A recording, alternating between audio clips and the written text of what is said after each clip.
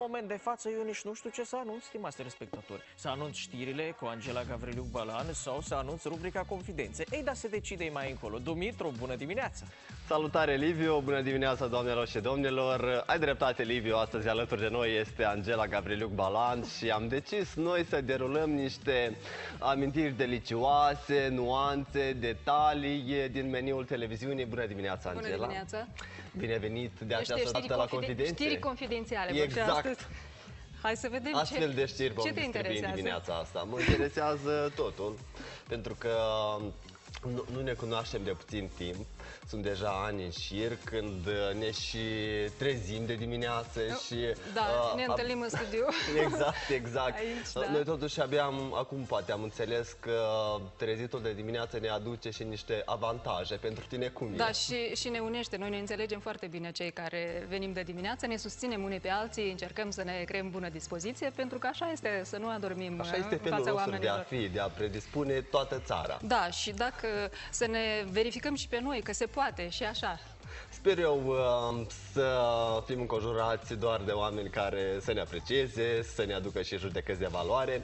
Eu vreau să zic altceva. Știu că unii prezentatori TV, chiar și unii colegi, um, se simt foarte ciudat atunci când sunt în calitate de protagoniști. Pentru tine cum e? Pentru mine, e așa cum te-ai simți în ospeție, știi, bagheta dirijorului este în mâna ta, eu uh, sunt invitată, stau relaxată și aștept să văd uh, cum uh, dirigezi tu parada aici.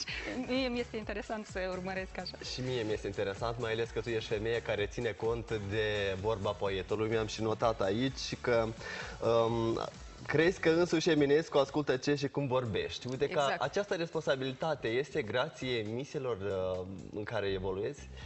Um, Livi, uh, Liviu, eu tot dacă vorbesc cu Liviu, Din zic... și Liviu, nu e nicio problemă, suntem ca frații aici. Uh, Da. El Dumitru, nu se supără. eu am venit la confidențe sau dosare secrete. Tu ai descoperit ceva, ai umblat prin culise Păi și... încercăm să distribuim niște lucruri Dar dacă e- mai inedite. Dacă e să vorbim despre ceea ce ai zis tu, uh, a prezenta este o mare responsabilitate și versul acesta, să, atunci când deschizi gura să crezi că însuși Eminescu ascultă ce și cum vorbești, nu poate să vină în fața camerei cineva întâmplător și a, a fi degajat nu înseamnă a spune orice îți trăs- trăsnește prin cap. Trebuie să ai o cultură generală, să fii informat, să cunoști multe despre ce vorbești și cu cine vorbești și să faci așa ca să aduci ceva interesant telespectatorul, nu să apari în fața camerei și ia priviți-mă cât de frumoasă sunt. De câte am înțeles eu, tu ești o fire foarte romantică și uneori peregrinezi în mai multe oaze de creații ca să-ți menții echilibrul în activitățile de la departamentul uh, de știri. Da. E un adevărat efort uneori să fii foarte realist, să fii la curent cu tot ceea ce se Da, întâmplă. pe, pentru mine este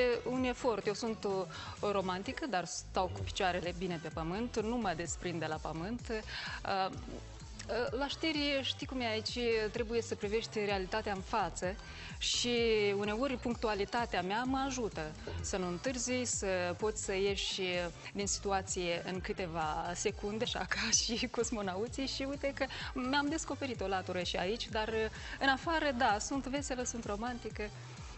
Am observat eu în uh, unele interviuri atunci când protagoniștilor li se pune în banala, naiva, poate și nevinovata întrebare, dacă vrei, cum ai început să faci televiziune. Am observat eu că deja este în vogă să răspunzi că, hei, totuși meseria m-a ales pe mine, pentru că așa a vrut Dumnezeu. Eu știu că tu, din anul 1995, dacă nu greșesc, ai pășit pragul La uh, sfârșitul televiziunii. 95, da. Ai început să-ți faci un nume prin intermediul proiectelor dedicate pentru copii. Eu am proiecte început, să, de am început să intelectualitate, lucrez da? mai devreme de a ajunge la copii, am început să lucrez la Craici. Era acel departament Mhm. care noi făceam niște treceri, intro-uri din studio uh, și am venit uh, auzind că este vorba de un concurs și odată ce ai venit înseamnă că undeva în subconștient tu ai vrut să, să ajungi acolo. Eu de fapt întotdeauna vroiam să fiu uh, ba balerină, dansatoare, actriță, nu știu ce și uite că undeva m-am regăsit aici. Am venit o fiu, o fiu, o fiu, o fiu, nu insistam că cu orice preț să ajung aici. Eu de fiecare dată când te văd te asociez cu zeița Minerva. te mai urmărește ecoul ei. Îți este dor de acele mi-a, vremuri, mi-a de rămas acea în emisiune. suflet. Chiar uh, mi-a rămas în suflet și uh, zeița Minerva, da, a fost atunci, a rămas acolo. Dacă acum aș face ceva, aș face o emisiune, aș dezvolta poate acel gând. Aș Dar ai face... încercat să te redescoperi în alte proiecte, cum crezi? Eu proiecte am vreo două, trei proiecte, rămâne Sunt în doar buzunare, să mi le da. Accepte cineva ca să le pot realiza. Despre ce ar fi vorba? Ar fi, Dezvălui vorba, ar secretele? fi vorba despre o emisiune de că- călătorie, despre niște uh, lucruri așa mai curioase, un fel de confidențe, dar în mișcare, știi? Deci nu în zadar a zis cineva că, uite, există un moment, ajungem și noi la o vârstă când vrem să călătorim, vrem să vedem ce, Ce ai ce vrut nu să- am ce văzut. vrei să Nu, spui? nu am spus nimic pentru că tu arăți foarte bine, ești o diva a televiziunii naționale Lasă, și nu. așa și de rămâne. Domnul mie nu-mi place când mă laudă lumea, că nu mă simt bine. Ești modestă, de acest lucru m-am convins și eu, dar cu siguranță ești o divă în familie pentru soțul tău, pentru fiul tău. Asta, asta da, pentru fiul meu mai, mai cu seamă. Ține cont de tot ce, ce Lică, spun. da? Da, Așa îi Lică. spuneți, o să-l vedem și noi în imagini în dimineața asta. Eu știu că el de mic uh, și-a petrecut copilăria în culisele Da, televiziunii. sărmanul de el de mic venea aici pentru că nu aveam cu cine să lăs, soțul lucra și el la televiziune. Și, Domnul Slavic Balan. Da, și uh, luam uh, uh, căruciorul și veneam la televiziune, mai apoi când aveam emisiunea îl așezam în rând cu invitații și el fiind foarte sociabil uh, își găsea prieteni. Dar nu te-a mirat pe tine faptul că, uite, nu s-a molipsit și el de acest virus care bântuie în noi televiziunea pentru că face altceva în viață. Um, Păi Vrea atunci să când facă, este... de fapt, pentru că... Vrea să facă altceva, dar are tangențe, ar, ar vrea să aibă tangențe cu televiziunea, dar atunci când ești de mic copil, supra-saturație de televiziune, ești pe aici, cred că nu te mai interesează atât de mult, nu este o descoperire pentru el.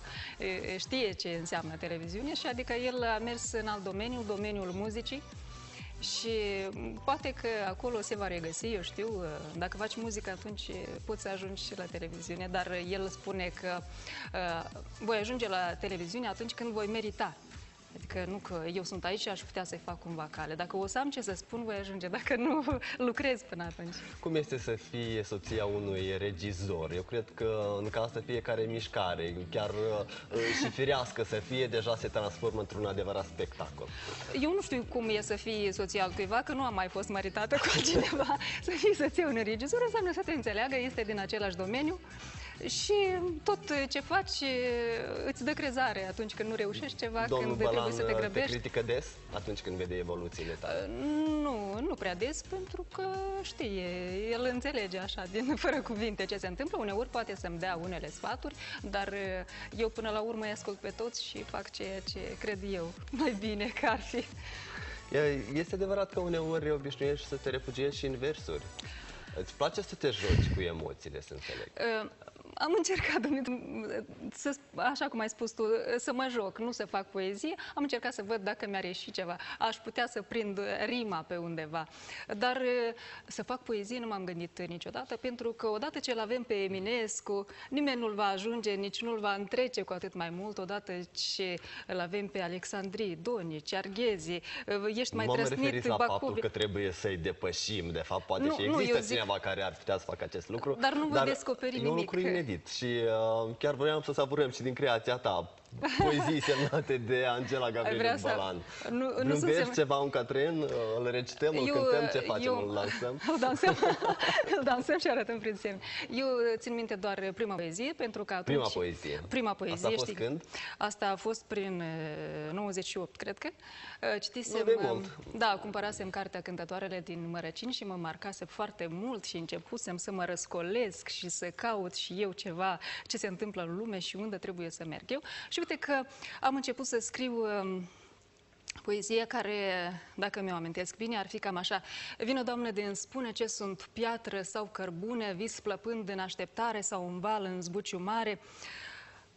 Pur și simplu, în ieri cu nazi, spășirea unui caz, vreau să știi, eu lupt cu mine, cu destinul, nu cu tine, ție, ție îți cer numai povață. Dă-mi un semn să înțeleg unde încotro să merg. Domnul tace.